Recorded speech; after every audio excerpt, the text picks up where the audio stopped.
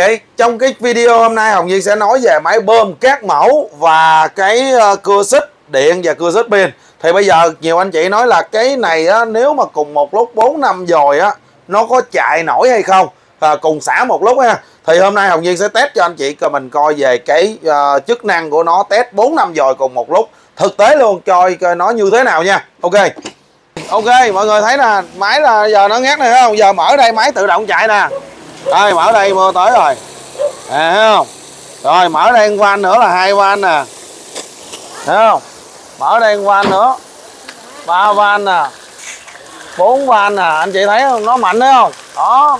Càng mở lớn nó càng mạnh. Nó tự động mà. Thấy không? Đó. Thấy không? Khóa lại. Khóa lại van. Tức là nó xài bốn van cùng lúc anh chị nè thấy không? Đó. Mạnh mẽ luôn con lành luôn nè. Thấy không? Bốn van cùng lúc đó. Thấy không? Như vậy là áp lực là ngon lành rồi, hết nước rồi. Hết nước rồi. Đó, anh chị mình thấy không? Tức là máy này anh chị mở một van thì nó cháy ra, hú, hồn tắt đi tắt đi. Tức là nó ép này hầu như chỉ gắn ống sơ thôi, không có dán keo gì hết. Thì anh chị mình thấy nó bơm bốn van cùng một lúc, nó vẫn mạnh. Cho nên là anh chị mình xài ở nhà bốn năm van nó vẫn ok, đúng không? Đó, test cho anh chị mình coi cụ thể như vậy luôn á. Rồi, để giới thiệu cho anh chị nhiều cái loại bơm nữa lắm. Ok. Anh chị thấy không? Tức là hồng nhiên test cái máy này, anh chị mình thấy nó gọi là cái máy bơm inverter mà. Cái mẫu này là bơm thông minh nhất trong các cái loại máy bơm này luôn á. Tức là anh chị mình thấy, ví dụ như mình mở một dòi là ok, nó chạy 30 phần trăm hai dòi có thể 50 phần trăm mà ba dòi có thể nó chạy 70 phần trăm công suất. Và mình mở sách maximum nó chạy 100 phần trăm công suất anh chị ha. Nó cái mã của nó là VIT 320 thủy mẫu này là 320W anh chị. Công suất của nó như vậy nó có thể bơm cho toàn hệ thống nhà rồi đó. Chung cư đồ là anh chị mình xài ví dụ là nước yếu quá anh chị mình lắp cái này vô là ok ngon nè. Rồi tốc độ của nó chạy là 2850 cũng như những máy bơm kia thôi. Lưu lượng nước là nó nói là 4,2 khối giờ ha rồi ở đây nó nói là đẩy maximum của nó được 32 mét. Nhưng mà anh chị mình gì cũng phải trừ hao nha. Anh chị mình cứ trừ hao nó 20 hai mấy mét là ok. Ngon lành luôn chứ cứ cho 20 mét là ok xịn sò luôn á. Cái mẫu bơm này à, nó nó hồng viên hay kêu nó là mẫu máy bơm nhà giàu. Là tại sao nó nói là nó là bơm biến tầng bơm Rimaru biến tầng. Ở đây ống vô 34 rồi ở đây anh chị mình có thể nếu mình xài cái này nè nó hay nè mình có thể tự hút nước từ hồ không? À, hoặc là anh chị mình có thể là hút nước đường ống được luôn. Rồi ở đây là đầu ga 34 đầu vô 34 ha ở đây anh chị mình nếu mà xài nước mà có có lúc bê đó là anh phải mở này ra để mồi. Hoặc là anh chị mình phải thục lúp bê cho có nước rồi mình mới bơm ha. Cái này nó có hệ thống setup tự động của nó. Tức là anh chị mình thấy là nước mà giống như không có tới máy là tự động nó ngắt đó, nó hiểu hết luôn. Đại khái là nó vậy. Anh chị mình xài là rất là êm và hệ thống nước nóng nó cũng xài được, trăm độ nó xài được vô tư luôn ha. Giá của nó là 3 triệu 250 ngàn là chính xác của nó. Thì hôm trước Hồng Nhiên có giảm xuống 3 triệu cho anh chị đó. Nhưng mà trong cái chương trình này thì Hồng Nhiên sẽ giảm cho anh chị mình tất tần tật những cái máy đây 7% ha giảm 7% cho anh chị mua cho nó dễ. Đó là cái máy bơm này đại, đại khái là máy bơm nhà giàu là nó đó. Anh chị cần thiết là tôi muốn mua máy bơm nhà giàu. Tại này nó có lớp B giữ nước anh chị nó giữ nước lại nên là không có sợ tuột nước. Trong này có lớp B luôn ha. Cái này Hồng Nhiên đã giới thiệu cho anh chị rồi. Và bữa nay anh chị thấy Hồng Nhiên test 4 dòi cùng một lúc nhưng mà máy bơm vẫn rất là mạnh ha. Chứng tỏ là nó xài được nhiều dòi cùng một lúc. Rồi ở đây là anh chị mình à, muốn uh, xài những cái máy bơm mà giống như là một thiết bị thôi thì anh chị mình có thể xài cái mẫu này đang bán rất là chạy. Do gì? Những cái bơm này giờ nó nói im cực kỳ êm luôn. Nó là một cái hệ thống bơm uh, khá là thông minh. Nó nói là bơm là coi như tự động của nó nước không cấp là nó ngừng. Mở nước tự động nó chạy rồi nó có thể điều chỉnh mạnh yếu trên này. Nó nhỏ gọn và nó an toàn khi anh chị sử dụng. Ví dụ nó biến ra DC mà nguồn 220 biến ra 24V thôi 100W cắm vô đây, anh chị mình thấy hầu như quăng vô nước, nó vẫn xài bình thường, không có sợ giật dốc gì, đúng không? Nhưng mà IP chống nước nó là có 54 nên mình không có quăng vô nước. Anh chị mình có thể để ngoài trời vẫn được, lâu lâu lỡ bị mưa cũng chả sao, ha. Đó, và đặc biệt là nó im, không có nghe tiếng, khỏi kêu cạch cạch giống như ngày xưa, ha. 750 ngàn cho máy bơm Gimago nhỏ xíu này, một thiết bị. Nhưng mà anh chị mình có thể xài hai thiết bị với điều kiện, cái này ngưng, cái kia xài, nha. Giống như máy giặt thì ok, nó đang giặt thì mình không mở máy nước nóng còn giờ mình đang xài máy nước nóng thì máy giặt đừng cho nó chạy. Đó ok ha. Chứ nó không thông minh tới mức độ là ờ, uh, ơi giờ lần này tao đang xài này mày ngưng cái kia nha nó không thông minh tới vậy nha anh chị. Đó mình tự mình tự dạy nó thông minh. Đó, con AI này nó học chưa có tới. Rồi 750 ngàn giảm 7 phần trăm cho anh chị ha.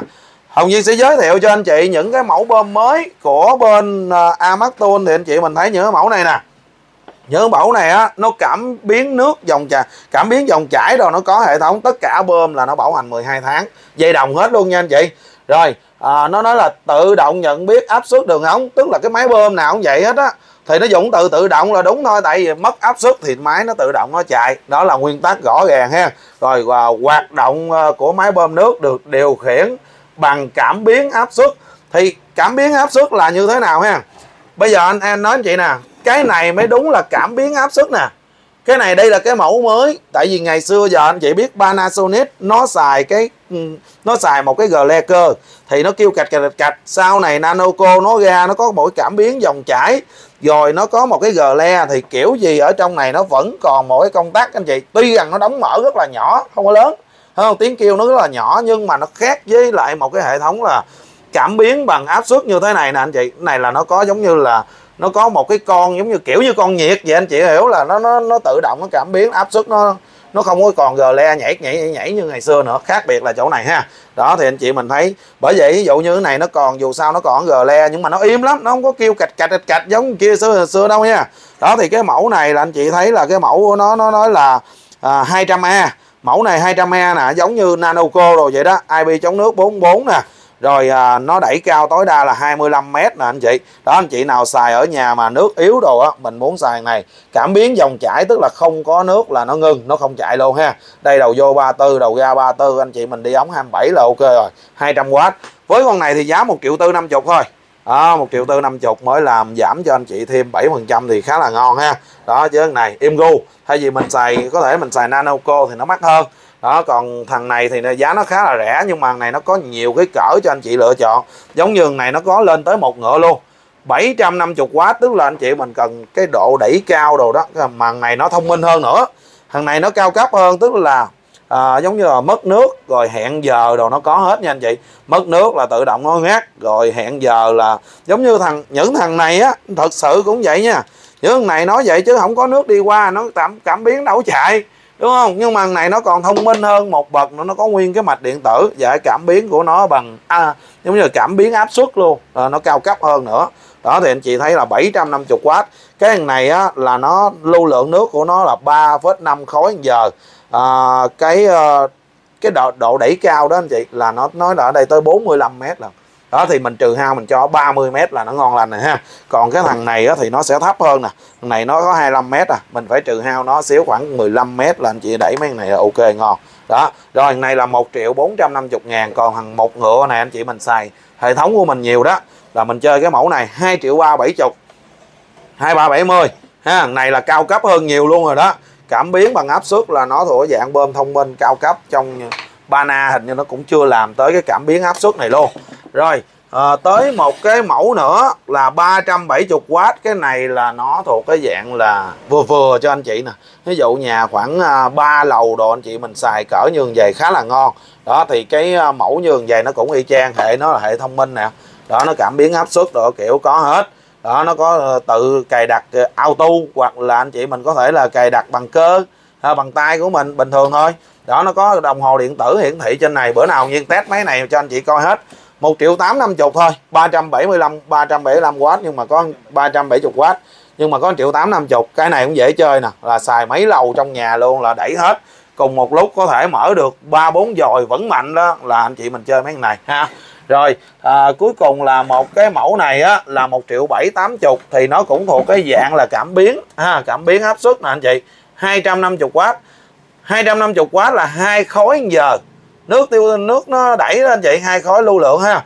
Rồi nó đẩy cao được 26 mét. Đó giá của nó thì 1 triệu 8 1 triệu 7 80 còn thằng này hồi nãy nó nói là 2,5 khối giờ đẩy 28 mét. Hàng này nó cái độ trên lệch của nó là có độ trên lệch nhưng mà không nhiều lắm ha. Và 250W và à, 370W thì cái độ trên lệch không nhiều. Trên lệch về giá tiền triệu tám năm mươi còn này triệu bảy tám mươi thì nó trên là đấu nhiều đâu. Nếu mà như vậy chơi có con 370 đúng không anh chị? 370W nó vừa mạnh vừa ngon hơn giá tiền trả trên lệch bao nhiêu. Đó thì anh chị tùy mình lựa chọn ha. Đó hơn không có nhiều tiền hết thì mình xài vậy ngon. Bảo hành được mười mấy tháng 15 tháng. Đó tùy theo cái lượng nước mình xài ở nhà thì mình chọn cho nó phù hợp thôi. Rồi à, nói về cưa xích ờ, à, Amac Tool thì mấy này cũng của Amac hết anh chị. Cưa xích của Amac là anh chị mình thấy cái mẫu này là do nó hết hàng đang hết hàng anh chị. Còn đúng có con cái này 1 triệu 50 ngàn anh chị. Còn đúng có con cái một cưa xích này ha. Đó thì anh chị mình mua cũng được giảm 7 phần trăm. Còn đúng cái này cái này ở đây giống như Hồng Nhiên để đây trưng bày để test đây cho anh chị mình coi đó. À, còn đúng cái là kệ bán. Có con cái một bán đại 900 ngàn ha. À, nhưng mà anh chị mình nhớ là Hồng Nhiên test sơ rồi nha. Nhưng mà nó mới tin luôn ví dụ như em lao lại đúng một đường một. Ha đúng một đường lao lại cái tại vì nó hết hàng mà. Nhưng mà mắt nó cho ra một cái máy này một cái máy này là cái máy 4 tấc lẻ năm. Máy này chạy điện anh chị ơi. Đó chạy điện nhưng mà được cái nó rẻ. Rồi không? anh chị biết tại sao người ta thường thường hay mua cưa xích amac bây giờ người ta khoái người ta thích là biết cái chỗ nào anh chị? Chỗ là sợi dây xích. Dây xích của amac á, giống như là nó chuyên làm về lưỡi đồ á. Nên nó hiểu được cái cái dây xích này nó làm chất lượng nó như thế nào. Để nó cắt anh chị mình thấy đơn giản cưa xích amac nó sẽ cắt lẹ hơn so với một số sản phẩm khác. Anh chị mình thấy rõ ràng ha. Đó, hồng nhiên hay test cho anh chị mình biết rồi. Rồi, thì cái mẫu này, giá bán của nó có 1 triệu 50 ngàn. Máy chạy điện anh chị, mà làm nó là 4 tấc lẻ năm. Công suất 1800W tốc độ nó là 5.000 vòng đó, thì anh chị mình có thể là chơi cái mẫu này. Thì cái mẫu này nó lắp ở đây, anh chị mình thấy là ví dụ như mình lắp vô hết, mình nhớ đổ nhớt nha anh chị, nhớt đổ đây, nhớt nó là nhớt tự động. Rồi, ok, ở đây thì anh chị mình có cái bát nè, anh chị mình nhớ ở trong nó có hai con vít nè anh chị mình lắp cái bát này vô nha. Đó ok mình lắp cái bát này vô để nó chịu nó bấu vô cái cây anh chị khi anh chị mình cắt nó chịu lại nè. Đó nó không bị sốc ngược ra đó ok là có cái bát này cũng lợi hại lắm nha. Đó thì giá của nó chỉ có một triệu 50 ngàn. Lần sau Hồng Duyên sẽ test cho anh chị mình coi. Đây là những cái mẫu mới mới vừa về. Xích đồ nói chung đầy đủ. Full hộp full thùng của nó vậy. Đó thì ờ, về máy điện là bảo hành nó là 8 tháng.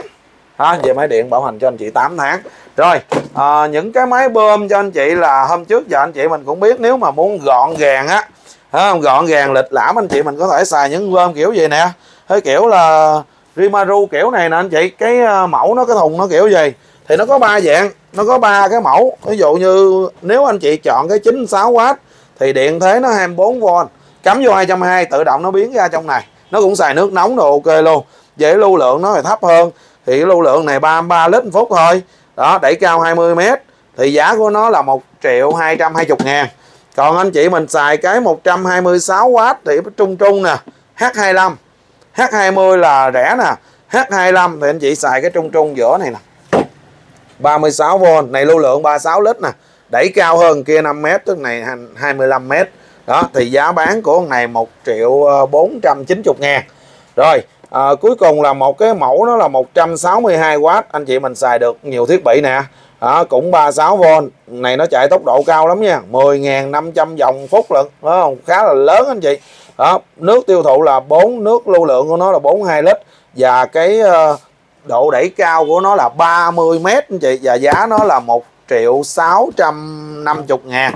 1 triệu 650 ngàn 1 triệu ờ, 490 ngàn là cái giữa giữa rồi cái cuối này là 1 triệu 220 đó thì anh chị mình thấy là mình cần lượng nước lớn. À, mình cần xài nhiều dồi thì mình chọn cái công suất lớn đơn giản vậy thôi. Anh chị có nhiều anh chị thích cái mẫu này là tại sao?